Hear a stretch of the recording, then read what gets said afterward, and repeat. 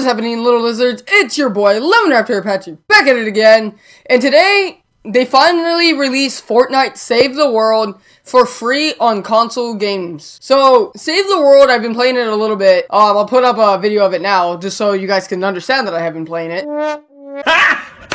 Got him! And just so you guys know, happy Easter Fools. Um, April Fools you guys. Um, Save the World is not going to be free until summer. But anyway, guys, um, I had to do an April Fools prank on you guys because I have never done one. Not only that, it is Easter as well today. So it's kind of a cool uh, day. Uh, happy Easter Fools is what I should say.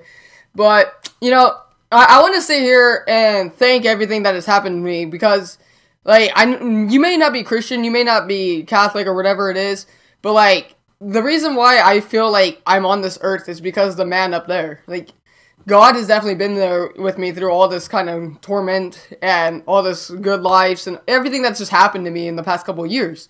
So I want to thank him for that. And I hope you guys are having a great Easter. Um, I just wanted to let you guys know that I don't know if there will be a video on Wednesday. I gotta keep my video schedule going. It's just really hard. But I'm gonna keep trying. So thank you guys again. Um, hope you guys enjoy your Easter and April Fools together with your family.